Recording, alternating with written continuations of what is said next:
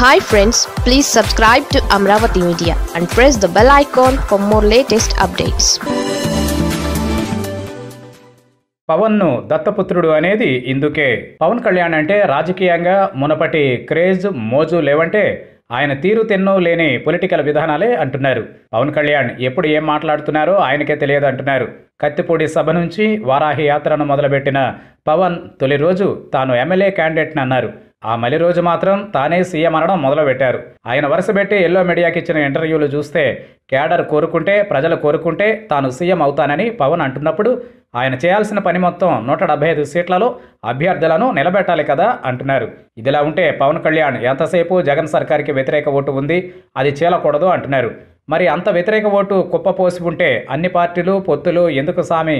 విడిగా పోటీ చేయొచ్చు కదా అన్న ప్రశ్నలు వస్తున్నాయి. వీటిని బట్టి చూస్తూ ఉంటే తెర వెనుక పొత్తులు పదిలంగానే ఉంచుకుని తెర ముందున పవన్ సీఎం నినాదాలు ఇస్తున్నారని అంటున్నారు. అందుకే దత్తపుత్రుడని జగన్ ఆయనకు పేరు పెట్టారని అంటున్నారు. ఎల్లో మీడియాలో పవన్ ఇచ్చిన ఇంటర్వ్యూలు ఆ పత్రికలు ఆయన్ని ఆకాశానికి ఎత్తేసి పతాక శీర్షికలతో కథనాలు ప్రచురించడాన్ని చూసిన వారికి ఏమని అనిపిస్తుందని అంటున్నారు. జగన్ను పంపించేద్దామని ఒక ఎల్లో మీడియాలో హెడ్డింగ్ పెట్టారు.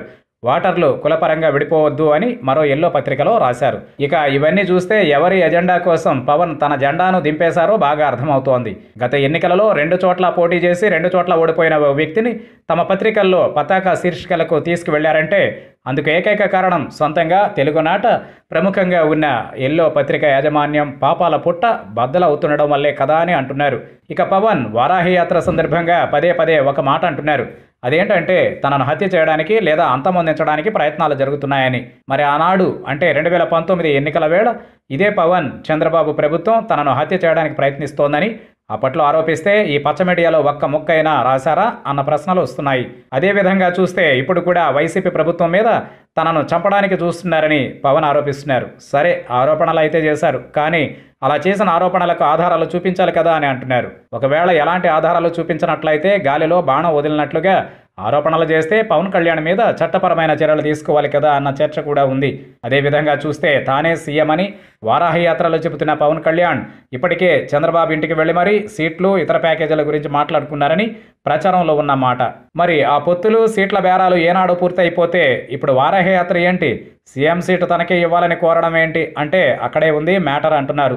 ప్రస్తుతం పవన్ పేలుస్తున్నవి కేవలం డైలాగులు మాత్రమే అని అంటున్నారు. అది కూడా ఏ రోజు ఏం మాట్లాడాలో అవి చంద్రబాబు ఇంటి నుంచి వస్తూనే ఉన్నాయని అంటున్నారు. అందుకే నేను ఎమ్మెల్యే కావాలని మొదటి రోజు స్క్రిప్ట్ అక్కడ నుంచే వచ్చిందని చెబుతున్నారు. అయితే తొలి రోజు అలా సీఎం రేసులో తాను లేడని పవన్ కళ్యాణ్ ఫ్యాన్స్ నిరాశపడి వెనక్కి వెళ్ళిపోతున్నారని అర్థం కాగానే ఎలాగో టీడీపీతో కలిసే వెళ్తాడు కాబట్టి మీరు చేస్తే నేను ముఖ్యమంత్రి అవుతా అంటూ మరో డైలాగ్ కూడా టీడీపీయే పవన్ కళ్యాణ్తో చెప్పించిందని అంటున్నారు. ఇక వైసీపీ పాలన మీద కూడా జనసేనాని ఇష్టానుసారం విమర్శలు చేస్తున్నారు.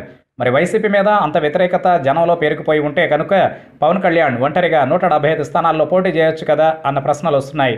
అన్నీ తెలిసిన పవన్ జనం నాడిని పట్టిన పవన్ ఆ పని ఎందుకు చేయడం లేదని అంటున్నారు. ఇక మరోవైపు చూస్తే గత ఎన్నికలలో పొత్తులు లేవని విడిగా అంటూ బయటకు చెప్పి రాష్ట్రం మొత్తం మీద టీడీపీ చెప్పినట్లు సెలెక్టివ్గా పోటీ చేసి తన సీటు కూడా తాను గెలవలేని పవన్ కళ్యాణ్ వచ్చే ఎన్నికలలో వైఎస్ఆర్సీపీకి ఎన్ని ఓట్లు తగ్గుతాయో తన చిలకతోనో ఎలకతోనో ఒక జ్యోతిష్యం ఎలా చెప్పిస్తారని అంటున్నారు. అదేవిధంగా పవన్ అవునన్నా కాదన్నా ఏపీలో వైసీపీ ప్రభుత్వం ఇప్పటికే రెండు పాయింట్ ఒకటి ఆరు లక్షల కోట్లను నేరుగా లబ్ధిదారుల ఖాతాలో వేసిందా లేదా అన్న ప్రశ్నలు కూడా వస్తున్నాయి. అంతేకాదు ఇలాంటి అతిపెద్ద ఆర్థిక లబ్ధి కానీ మేలు కానీ చరిత్రలో ఎప్పుడైనా ఇంటింటికి జరిగిందా అన్న ప్రశ్నకు పవన్ కళ్యాణ్ నుంచి సమాధానం లేదు కాబట్టే ఇసుక మద్యం అంటూ రకరకాలుగా మాట్లాడుతున్నారని అంటున్నారు. అదేవిధంగా జగన్ చెప్పిన క్లాస్ వారికి కూడా అర్థాలు మార్చి పవన్ చెబుతున్నారని అంటున్నారు. అంతేకాదు క్లాస్ వారికి సంబంధించి పవన్ కళ్యాణ్కు చారు మంజుదార్ తరిమెల నాగిరెడ్డి గుర్తుకొచ్చారు చంద్రబాబే ఆయనకు చేగువేరా నారా జమీందారే చారు మంజుదార్. పుచ్చిన బుర్ర చంద్రయ్యే పుచ్చలపల్లి సుందరయ్య. ఆయనిచ్చే తీర్థం ప్రసాదం పుష్పం ఫలం గోదానం భూదానం అన్నీ అందుకుని పార్టీ ఆఫీసు వ్యక్తిగత సెటిల్మెంట్లు అన్నీ చేసుకున్నారు కాబట్టే ఇప్పుడు ఇలా మాట్లాడుతున్నారని అంటున్నారు. అంటే ఇప్పుడు ఈ నారా జమీందార్ ఈ చంద్ర గువేరా అనేవాడు అత్యంత ప్రీతిపాత్రుడిగా పవన్కి కనిపిస్తున్నారని అడుగుతున్నారు. అలాగే చంద్ర ఫిలాసఫీయే పవన్ కులాసఫీ. కాబట్టే ఎల్లో మీడియాను పిలుచుకుని వారికి ఏం కావాలంటే అది చెబుతారని ఆయన ఏం మాట్లాడినా వారు రాస్తారు వేస్తారని అంటున్నారు. ఇక మార్గదర్శిపై ఏ తప్పు లేకపోతే రాష్ట్ర ప్రభుత్వ చర్యల్ని ఏ న్యాయస్థానము ఎందుకు అడ్డుకోలేదు అన్న ప్రశ్నలు కూడా వస్తున్నాయి. అంటే అక్కడ తప్పు జరిగింది కాబట్టి చట్టపరమైన చర్యలు జరుగుతున్నాయని అంటున్నారు. అంతే తప్ప మార్గదర్శిని వ్యక్తిగతంగా టార్గెట్ చేయాల్సిన అవసరం వైసీపీకి ఎప్పుడూ ఉండదని అంటున్నారు. నిజానికి చంద్రబాబు హయాంలో ఓ చార్మినార్ బ్యాంక్ ఓ కృషి బ్యాంక్ గతంలో ఎత్తిపోయాయి. అలాగే రెండు వేల పద్నాలుగు పంతొమ్మిది మధ్య అగ్రిగోల్డ్ ఎత్తిపోవడానికి కారణం చంద్రబాబే. అయినా అగ్రిగోల్డ్ ఇన్వెస్టర్ల ప్రయోజనాల దృష్ట్యా జగన్ ప్రభుత్వం వారికి ప్రతి రూపాయి చెల్లించింది. అటువంటి పరిస్థితి మళ్ళీ మార్గదర్శిలో పునరావృతం కాకుండా అడ్డుకోవడానికి ఈ ప్రభుత్వం కృషి చేస్తూ ఉంటే పవన్ లాంటి వారు సమర్థించాల్సింది పోయి ఎల్లో గ్రూపును ఎత్తి నెత్తిన పెట్టుకుంటున్నాడంటే ఆయన నిత్యం మాట్లాడుతున్న నైతిక విలువల వ్యవస్థే డే వన్ నుంచి ప్రశ్నార్థకం కాదా అని అంటున్నారు. ఇదిలా ఉంటే ఇదే పవన్ కళ్యాణ్ గతంలో ఇదే ఎల్లో మీడియా గురించి ఏం మాట్లాడారో?